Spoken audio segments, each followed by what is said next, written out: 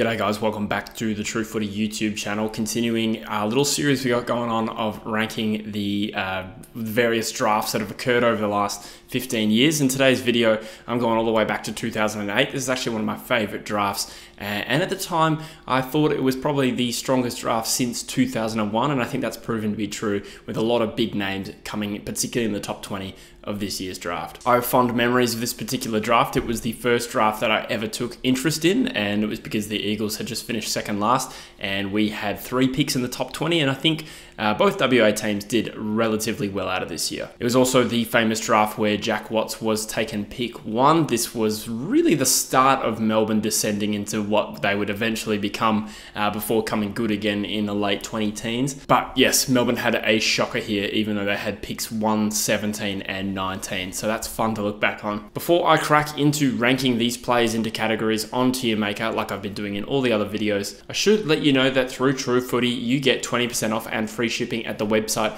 manscaped.com. Manscaped has all your needs for rounding out your male grooming routine, or in fact, for a lot of you, upgrading it. They get a variety of different products from the actual body hair trimmers. They've got a nose and ear hair trimmer. I've always been a manscaper, to be honest. I don't know why, but for like 10 years, I've just always preferred the way my chest looks when I shave it. The great thing about the Lawnmower 4.0 is that sometimes, obviously, you get a little bit busy and you let it grow out. And sometimes I've had a pretty hairy chest. But it doesn't matter how long you leave it because the Lawnmower 4.0 genuinely will get the job done very, very quickly. Previously to using a body hair trimmer, I would just use the old school razors and it is an absolute nightmare of a job. But the Lawnmower 4.0, you can use it in the shower, which is probably the biggest positive for me. It's ceramic bladed to reduce uh, grooming accidents, as they call them. And it's just a super good blade. It literally just get rid of everything very, very quickly. So, like I said, 20% off and free shipping by watching True Footy. Use that code at checkout and you will enjoy a great benefit. All right, so we're back on Tier Maker and we are going to be ranking various players. Uh, now, like it's the previous videos I've done, uh, I've got the top 20. By default, the top 20 of this draft have made it into the Tier Maker and I've gone and handpicked some good players later on in the draft. There's too many players to include like 60 players on this. And to be honest, you know, who really wants to see me go at lengths to rank a player that played two games for their club when they were drafted in the fourth round. So we got about 30 players here. I think it's exactly 30, and we're going to rank them from top liner,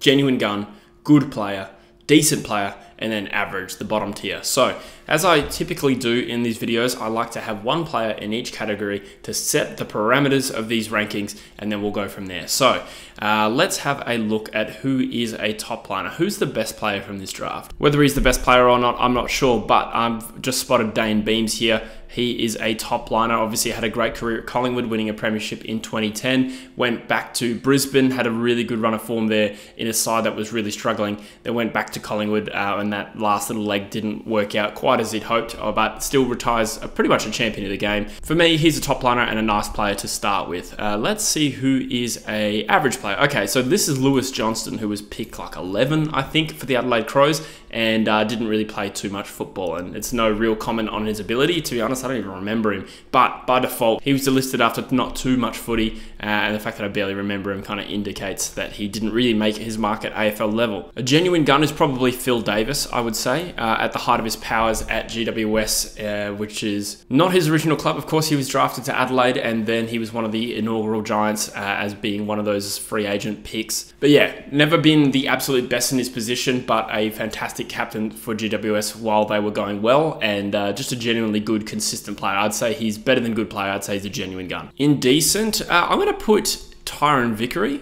because you know like he was a much maligned player but he did actually fork out a half decent career firstly at richmond and then um, lasted all the way to hawthorn so he's actually forked out a, a, fairly decent afl career there but i wouldn't say he was a good player would you in terms of good player i don't know hamish hartlett is that too harsh.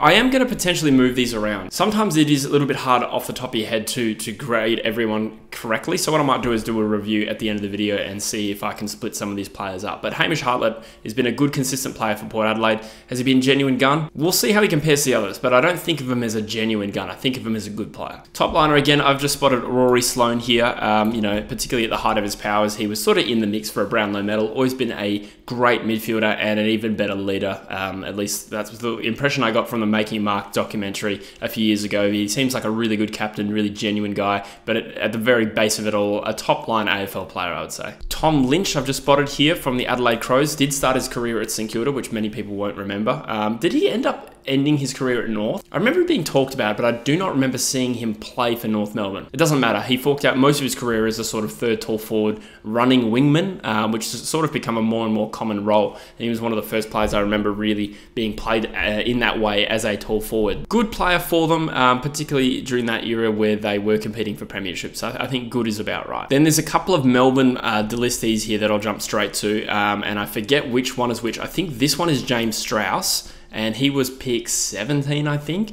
um, which would have been not their priority pick. It doesn't really matter. And the other one was Sam Blease, and forgive me if I've got them mixed up, but neither of them really had too much of an impact at AFL level. And I remember Melbourne fans back in the day, uh, this was for like when I first started on Big Footy, was 2009. They were really bragging about how these guys were going to make it. And I think at least one, if not both, kind of were crueled by injury a little bit. But by definition, they didn't really have an impact at AFL level. Uh, they were average players, let's be honest. Michael Walters, I think, is a genuine gun. Probably never really reached the heights of being a genuinely top end footballer in the competition. I think he was probably a little bit underappreciated outside of WA, but a very, very good player. One of my favourite Dockers players to watch, unless they're playing against us, but absolute bargain in the draft too. I think he was taken like 53 or 52. I remember West Coast took Jordan Jones one pick before, so that still hurts. Now, this might be controversial. I don't know. But Jack Watts is at least a decent player because, you know, he forked out a fairly long AFL career and um, at times he was actually pretty good.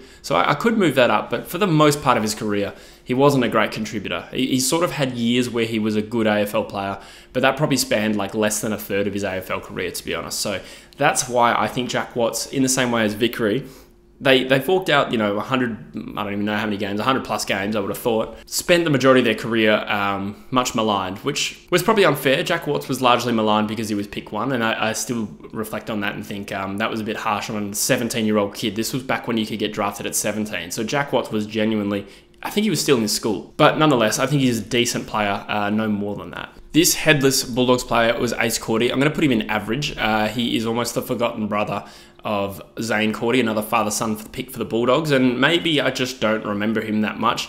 Uh, but I am pretty confident he didn't play as many games as Vickery and Watts. Um, and I don't really remember anything other than that. Um, so by default, he's in the average pile, which is really for players that really never got a good look in at AFL level. Dan Hannebery is a top liner, uh, obviously a premiership player for the Sydney Swans in 2012.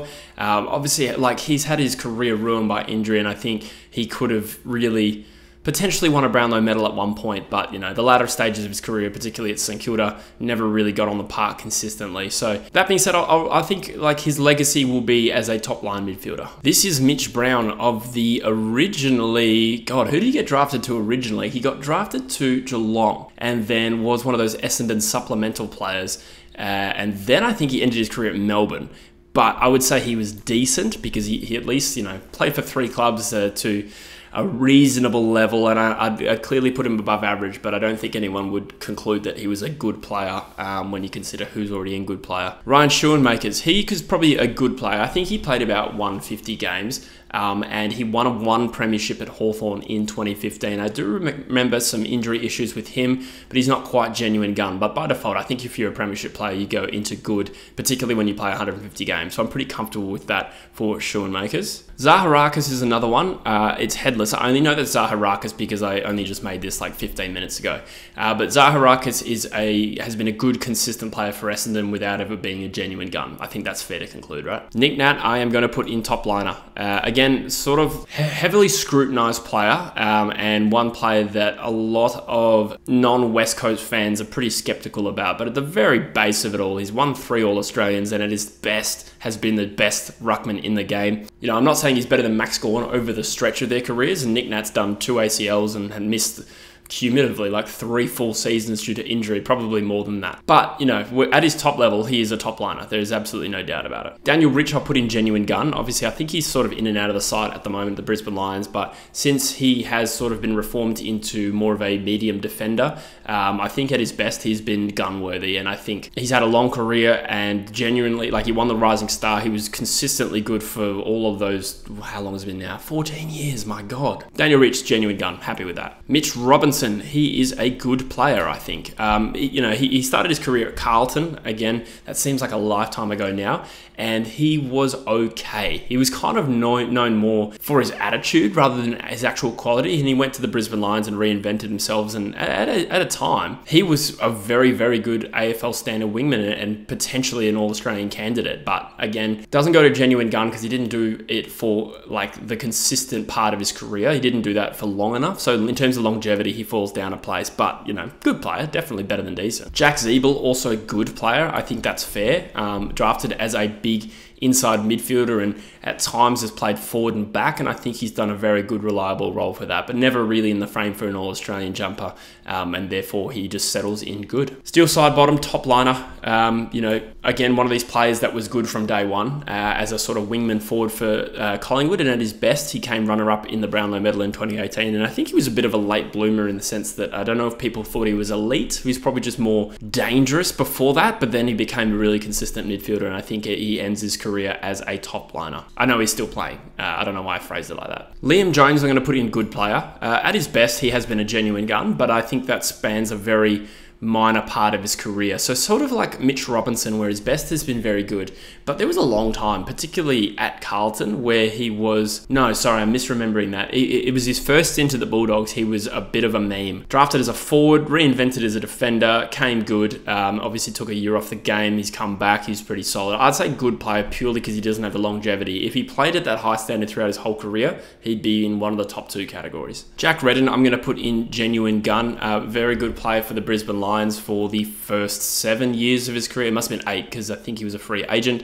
Uh, joined West Coast and uh, probably unheralded, underrated player, a player that we probably really miss now, and at the very least a premiership player. And I think he was second in the BNF that year as well. So not certainly not a top liner, but a very consistently good player. Took a little while to gel at West Coast, but in terms of the entire context of his career, from start to finish, I'd say genuine gun. He's very no frills. He's more consistent, and that's why people might you know bristle at the fact that he's genuine gun, but very competitive, very consistent player. I'm a fan. Michael Hurley, I will put in genuine gun too, uh, only because you know you always got the sense with Hurley, both as a key defender and as a forward, that he had the potential to be you know all Australian consistently, but his body's kind of let him down for the large portions of his career, and that's kind of why I have him a little bit lower. I don't think he's achieved as much as Nic Nat, but he had the potential to. On talent, if you're ranking it on talent, I think he belongs in that top category, but in terms of how decorated he is, he falls down behind the pack. Neville Jetta, I'd say good player. Um, you know, at his best was a very, very good small defender. Maybe I'm being a bit harsh there. The problem is, it's kind of my memory failing me here. I've, I think of Neville Jetta as being a really good player when Melbourne was good and decent before that. I don't know. I mean, he was never all Australian. For me, probably just sits in good player, but let me know, anyone who watches Neville Jetta a little bit more closely than I did. I'm going to say Luke Shuey is a top liner. Uh, yes, I'm biased because not only am I an Eagles fan, I'm like the biggest Luke Shuey fan ever. Uh, but he will go down as a great for West Coast and clearly better than Jack Redden, clearly better than Daniel Rich. Won a Norm Smith medal for one of the statistically best grand final performances, let alone finals performances, uh, champion data ever recorded. So I'm going to cling to that, and uh, I watch him closely, more closely than most, and I think he has rare attributes for being a strong clearance player and one of the most deadly players in space. Bodies let him down, but it doesn't really take away from his career. He's played 250 games, premiership player, best and fairest. You can't talk me out of that one. The two Dockers boys I'm having trouble with here, uh, Hayden Ballantyne and Stephen Hill. I think at their best, they're both genuine guns, to be honest. Yeah, I'm going to put them both in genuine gun, uh, particularly around that period where Ross Lyon got Fremantle deep into finals. Hayden Ballantyne was annoyingly good and really damaging as a small forward. He was a genuine match winner, and uh, you know, small forwards, it's it's chalk and cheese comparing them to other players because sometimes their output's down and it's not really their fault. Uh, Stephen Hill as well. I'm going to put in genuine gun because uh, at his best he was very, very, very damaging as a uh, originally a wingman. His body started to let him down a little bit. I remember he, he, sort of switched to the back line, and I'd say genuine gun, and probably could have achieved more had he not again been ruined by injuries. I'm going to put Chris Yarran in decent, to be honest. I was thinking about good player, but I, I just look at the other players in that band there. You've got Zaharakis, you've got Mitch Robinson, Ziebell, Liam Jones, Hamish Hartlett, Tom Lynch, Chris Yarran was never on that level, let's be honest. So he falls into decent because he forked out a reasonable career uh, at Carlton, but ultimately, I mean, he got delisted halfway through his career. Steven Motlop is probably. Ugh, I find it tough to play for Motlop. Uh, I'd say he's good. He's good. He's definitely not genuine gun, and he's better than decent. He's better than the players below, I think. Uh, obviously forged a career at two clubs, left as a free agent, um, been up and down a little bit, but at his base, like he, he's a good player. So let's review. Okay, so our top liners there are Dayne Beams, Rory Sloane, Hannebery, Naitanui, Sidebottom, Shuey. I'm happy with that. That's a pretty top tier, elite level, um, top tier. Genuine guns would be Phil Davis, Walters, Rich, Redden, Hurley, Ballantyne, and Hill. You know what? I'm going to make a change here. And I think that I'm going to put Hurley higher.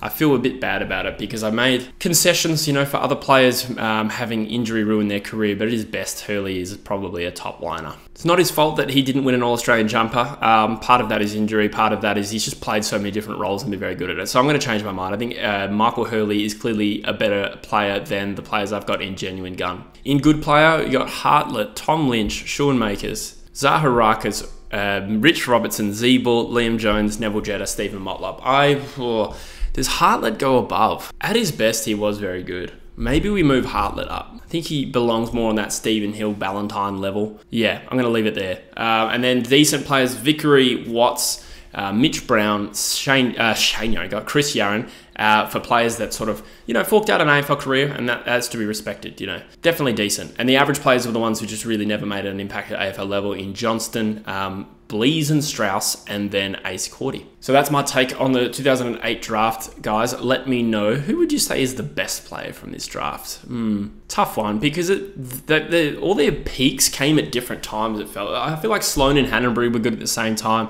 Shuey and Sidebottom maybe a little bit later. Naitanui got an All Australian very uh, very early and then peaked a little bit later. If I had to pick one, I'd probably go Nic Nat to be honest. But um, there is a bit of bias there, and I uh, I think given how much West Coast midfield benefited from his service, um, he's probably the one. Not saying he had the best career, just that probably the one I'd pick. But anyway, guys, let me know in the comments what you agree with, what you disagree with. As always, make sure you go check out that uh, manscaped.com offer, and I will see you in the next video. Cheers.